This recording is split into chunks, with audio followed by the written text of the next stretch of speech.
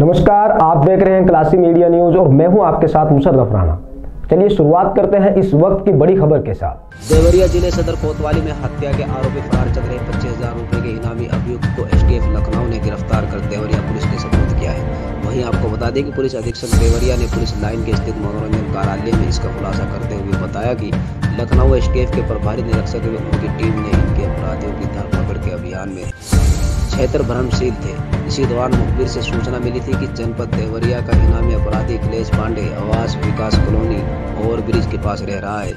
मुखबिर की सूचना पर टीम सक्रिय हुई और उन्नाव जनपद में पहुंचकर बताए गए पते पर घेराबंदी कर मोती नगर फ्लाईओवर के आवास विकास कॉलोनी के पास से गिरफ़्तार करने में सफलता हासिल।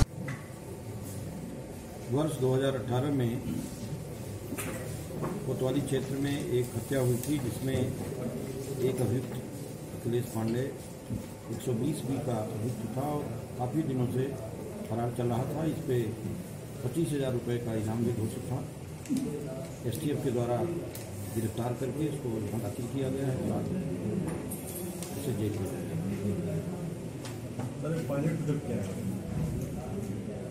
ये डीजीपी महोदय ने नई बीट प्रणाली स्थापित करने